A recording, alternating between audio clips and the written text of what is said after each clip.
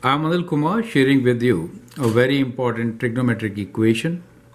We need to solve cosecant square x minus 3 cosecant x equals to minus 2. So let's rearrange and solve. We get cosecant square x minus 3 cosecant x plus 2 equal to 0. Now this is a quadratic equation in cosecant. We can factor 2 times 1 both negative can give us the solution. So cosecant x minus 2 times cosecant x minus 1 equals to 0. So that gives you two possible solutions. One is cosecant x equals to 2. The other one is cosecant x equals to 1. Now cosecant is 1 over sine, right? So we could write this as sine x equals to half or sine x equal to 1, correct? Now, when is sine x half? Sine x is positive in both these quadrants. Perfect. So, and for half, well, let's look into the triangle, a special triangle. 30, 60, 90. So we know these two sides for the angle. Let me write this as pi by 6, correct? So for pi by 6, we get sine x is half. Some of you who are working in degrees, for them it's 30 degrees. Perfect.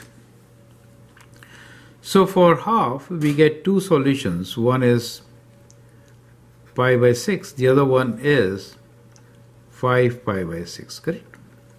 So here we have x equals to pi by 6 and also we have x equals to 5 pi by 6.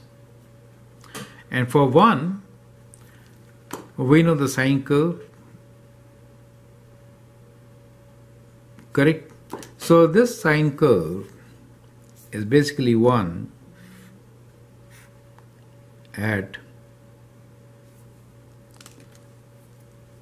pi by 2 right. So so let me say in the domain of 0 to 2 pi we are writing right? You could write general solution also.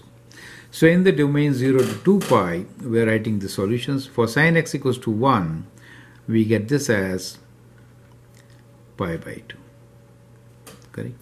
Uh, well if you want general solution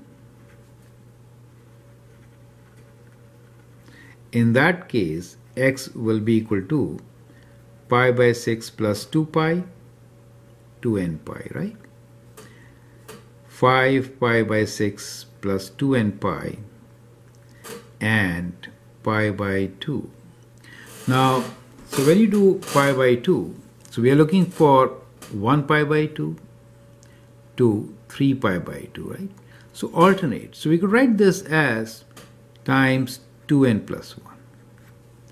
So that could work where n belongs to integers, correct? So that could be the general solution for your equation. And if it is given some domain, then in this particular domain we have three solutions uh, for the given function.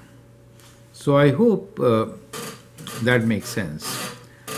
Feel free to write your comments and share your views. If you like and subscribe to my videos, that'd be great. Thanks for watching and all the best.